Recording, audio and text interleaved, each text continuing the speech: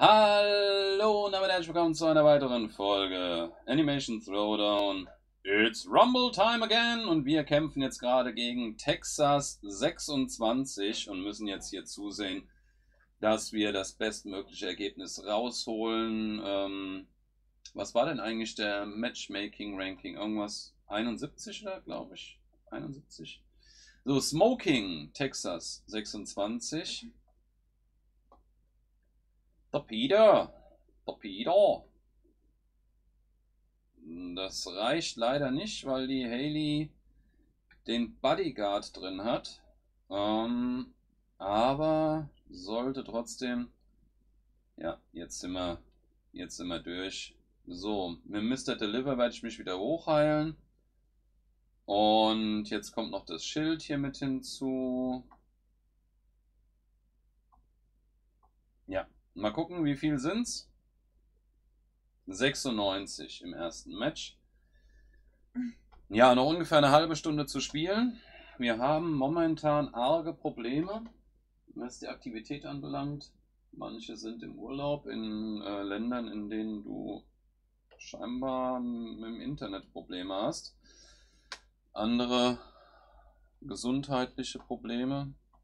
Sehr, sehr schlimme Sachen teilweise. Und das, das ist ein Wunder, dass wir trotz allem, also dieser, dieser Rumble hier überrascht mich total. Wir haben ja das letzte Match das erste Mal gegen die Glorious Golden Assassins gewonnen und das mit einer nicht wirklich guten Beteiligung. Wir hatten, glaube ich, nur 42 gehabt. Das ist nicht viel und haben trotzdem gegen die gewonnen. Das letzte Mal, als wir gegen die, oder die letzten Male, haben wir mit 47 und so deutlich viel schlechter ausgesehen. Und jetzt mit 42 gewonnen. Hm, jetzt kämpfen wir auch wieder, dass wir irgendwie auf über 40 kommen. Ich weiß nicht, was da momentan los ist. Also beim, ich weiß, manche haben sich gemeldet und ich weiß, dass da ähm, Ja, also Das gesundheitlichen Problemen ist Ja, da kannst du nichts machen. Das ist also, also wenn da Sachen dabei sind, die in der Richtung, in die Richtung gehen, aber das sind ja nicht alle. Weißt du, es sind, es sind zwei Leute, von denen ich weiß, dass die jetzt aktuell nicht aktiv sein werden. Ähm, aber was ist mit den restlichen acht oder neun oder so, ja. So, ja, Peter. Er, äh, aber in 9 wäre ja die Beteiligung komplett voll. Ja. Ja, äh, es, es fällt ja immer mal irgendjemand mal zwischendrin aus, aber, aber so, so schlecht hatten wir es schon echt. Also ich kann mich kaum dran erinnern, es ist schon Ewigkeiten her, dass wir so eine geringe Beteiligung hatten. Das ist schon längst ein Jahr her. Wahnsinn. Aber gut. Trotz allem haben wir ein super Ergebnis aktuell hier am Start und das ist das, was mich am meisten irritiert. Also irgendwo, wir sind ziemlich stark jetzt geworden und äh, trotzdem so eine schlechte Beteiligung. Naja, hm. Äh, Juan Schompf. Aber da kriegen wir schon wieder. Das wird sich, das, das werden wir wieder in den Griff kriegen. Juan Schompf. Wir sind auf einem guten Weg. So. Ah, das sind die Sorgen eines Gildenleiters und wahrscheinlich auch einiger Mitglieder des Teams. So, wir, die kämpfen natürlich auch und das ist nicht schön. Wie viele haben denn bei denen aktuell? Also ehrlich, ich hoffe nicht, dass wir das noch zum Schluss irgendwie verlieren werden. Wir brauchen echt jeden Punkt. Das wird mega eng werden, diese ganze Kiste hier. Wie lange haben wir denn noch Zeit? Wir sind noch knapp 20 Minuten. 20 Minuten, die wir überleben müssen. Ich kämpfe bis zum bitteren Ende, Leute. Ich kämpfe bis zum bitteren Ende. War das eine gute Idee, die, die Lina zu spielen? Ähm, ich spiele jetzt hier die Oktoberfest-Lila. Und ja, jetzt machen wir hier noch die Furzschule für Hochbegabte nebendran.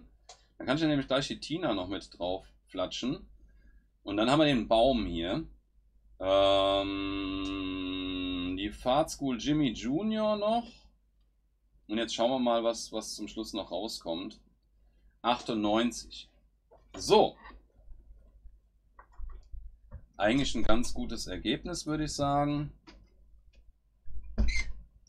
Sechs Matches sind noch offen. Und wir bauen unsere Führung erstmal wieder aus. Sehr, sehr wichtig. Gegen Ozocho. Ozocho. So, jetzt haben wir hier die Tom Landry Middle School. Und die Tom Landry Middle School passt eben am besten zum Peter. Der Peter ist auch noch drunk. Das heißt, das ist aktuell die beste Wahl. Damit kriege ich natürlich Absinth down. Und so wie das aussieht, hat er jetzt auch nicht so Komm, dann machen wir den Stewie, dann haben wir wenigstens gleich nochmal 8 nach vorne. So wie das aussieht, hat er auch gar nicht so die krassen, kranken Karten hier am Start. Ähm, hier kann ich noch mehr nach vorne ballern. Und gegen Ozocho haben wir jetzt gewonnen. Mit einer glatten 100, sehr geil. So, nächstes Match. Texas 26. Ja, Matchmaking Ranking 71 und das Ding gewinnen wir mit so einer Beteiligung unfassbar.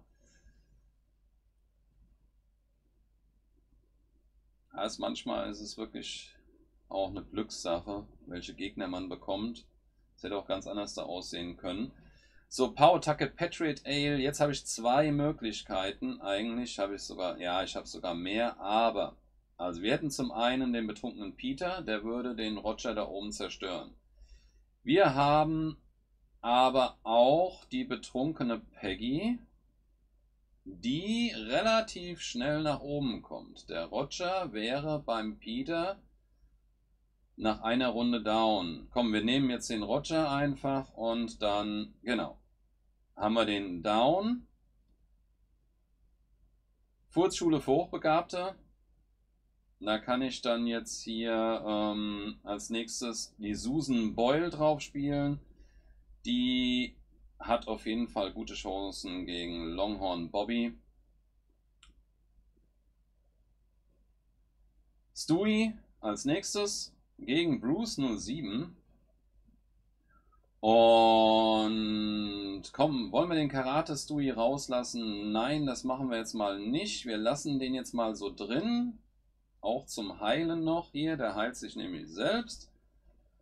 Und jetzt werden wir mal hier den Abschluss machen.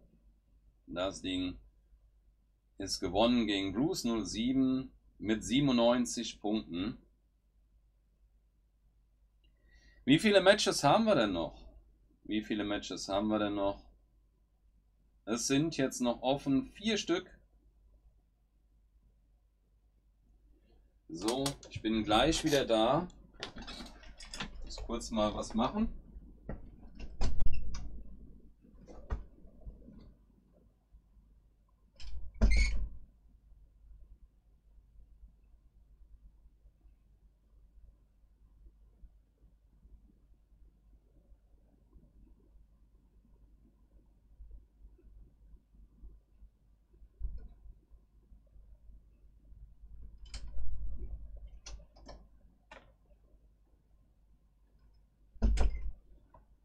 So, da sind wir wieder zurück. Und jetzt werden wir hier die nächsten Kämpfe machen. So. Keiner. okay. Ich kämpfe jetzt gegen keiner und äh, das ist natürlich geil. Ne? Fieberträume ist cool, aber Cadet Hill ist natürlich für den First Hit eventuell besser. Und da kommt er mit einem Bill Daughtery.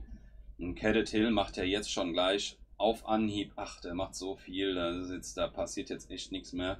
Begrüßungsmojitos setze ich noch gleich neben dran und dann ist keiner auch schon wieder weg. So. Hier noch den Stewie neben dran gesetzt und dann haben wir keiner, keinen besiegt. Mit einer glatten 100. Gutes Ergebnis ist da.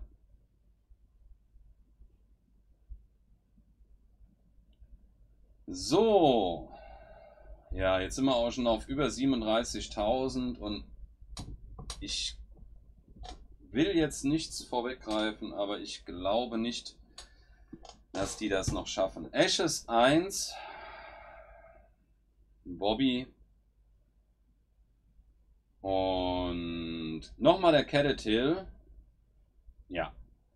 Jetzt haben wir schon, also wir haben jetzt bereits 53 Angriff. Das reicht nicht, um das Hasenkostüm wegzubekommen. 53. Er hier hat äh, für Family Guy Schild. So. Dann, ich werde jetzt einfach hier von der Seite pushen und dann ist das Hasenkostüm auch weg.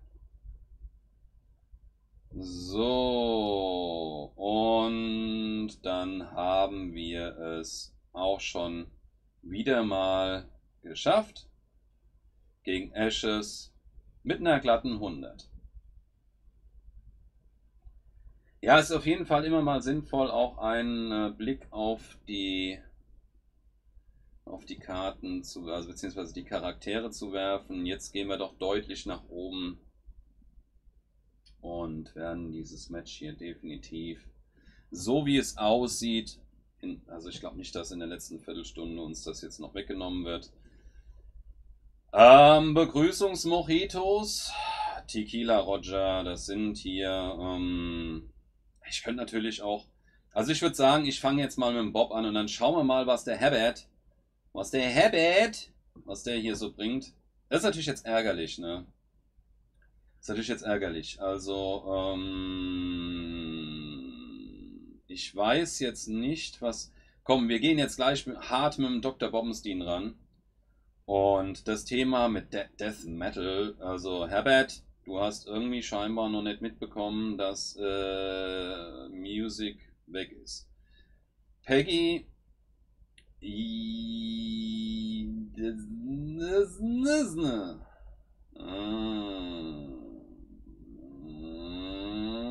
Ich push jetzt von der Seite mit dem Stewie. So, ich habe ja schon 88. Jetzt kann ich ja noch den Karate-Stewie gleich noch hinterher flatschen und das, äh, das ist 109 Angriff. Und Dr. Bobbenstein bringt mich auf eine glatte 100. Ist natürlich mega cool. Irgendwie leckt gerade die Aufnahme ziemlich, habe ich das Gefühl. Ich frage mich warum. Noch ein Match ist offen. Ja, das sind jetzt 2000 und äh, bei deren Durchschnitt brauchen die mindestens drei Leute, um diese 2000 noch zu erreichen. Drei Leute. Ich glaube, das Ding können wir uns safe einfahren. Ich fange jetzt mal mit dem Bob an und dann schauen wir erstmal, was da kommt. Und Hank Hill kann dagegen jetzt gerade mal nichts ausrichten. Ähm, jetzt ist natürlich die große Frage. Hier hätte ich 41. Wenn ich jetzt die Furzschule für Hochbegabte direkt neben dran setze, habe ich 49.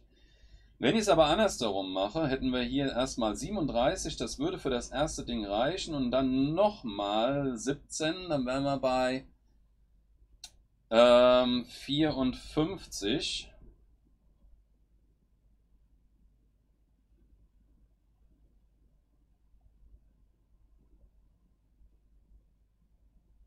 Ich weiß ja nicht, mit was CZ da kommt. Na? Komm, wir gehen jetzt auf Nummer, wir gehen jetzt erstmal auf Nummer sicher. Wir spielen den Christmas Punch Out. Jetzt kommt er mit einem Pawtucket Patriot Ale. Das ist für mich gut gelaufen. Und jetzt muss ich schauen. Was haben wir denn? 49, auch das reicht für Begrüßungsmojitos. Jetzt habe ich nochmal, wir haben jetzt hier nochmal 8 Stück mit hinzu. Wir sind bei 49. Das, ach, das reicht alles jetzt ganz locker, easy peasy. Ähm, noch der Bobby. Und ähm, ich spiele jetzt hier noch den Baum. Damit der wenigstens nochmal sich hochhält. Und dann haben wir eine glatte 100. Ich würde sagen, das Ding ist auf jeden Fall gut gelaufen für mich sind eigentlich ganz gute Ergebnisse bei rausgekommen. Wir haben jetzt hier, ja, da Die versuchen jetzt tatsächlich auch noch ein bisschen was zu machen, aber das reicht natürlich nicht. Bei denen 47, ja, dann haben wir das sowieso gewonnen. 47, die bräuchten 50. Schauen wir aber bei uns rein. Cuddly und Bounty, beide mit einer sensationellen, unfassbaren 1000. Ich habe 989. Dann haben wir Abdem 984, Typicolada 984, Chris 979, Exame 976, Teklis 975, Benitha 967, A 965, Alessio 962, Ditronic 961, Sonja 960, Tularis 959, Junket 956, Robert 953, Nati 948, Jesse 948, Gecko 946, Lord Ado 946, Thomas Cookie 945, Manu Bayer 943, Manuel K 941, Zardos 939, Gamer Guy 938, Krankus 935, Michael 929, Henny 923, Dennis 918. Dann haben wir den Oliver, Mimo, Ulrike, Brownie, Strommy, Sean G, Kings, Top Das, Eat Fresh Food, Apokalyptika, Depp Harte, Enska. 41 Leute hier aktiv gewesen jetzt. 8 Minuten sind noch zu spielen. Ähm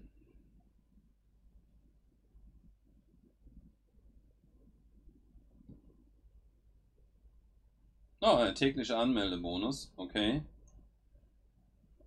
Ja. Ich denke, also wie gesagt, die müssten jetzt mit den restlichen dreien auch noch kommen. Und die müssten dann auch noch voll absahnen, aber sie kämpfen. Sie kämpfen noch. Ich glaube, das dürfte da unten dieser T. Jackson sein. Hab ich jetzt nicht auf dem Schirm. Es sind noch 1700 Punkte Unterschied. Das heißt, wie gesagt, es werden noch mindestens zwei Accounts. Ja, warum ist die Aktivität gerade so am Boden. Ich, es ist seltsamerweise oft so, wenn wir wirklich richtig gut und stark sind, dann passiert irgendwas. Ich habe keine Ahnung aktuell. Aber gucken wir mal. Ähm, sieben Minuten sind noch zu spielen. Aber ich denke, das haben wir eigentlich. Ich müsste darum jetzt noch die Tina umstellen auf die Verteidigung. Ich denke, das sollten wir eigentlich im Sack haben. Ja. Also, wenn es euch gefallen hat, dann lasst mal einen Daumen nach oben da, schreibt was in die Kommentare, abonniert den Kanal und schaltet nächstes Mal wieder ein, wenn es wieder heißt Animation Throwdown mit mir dem gleich. Schaut rein, macht's gut, bis dann und tschüss.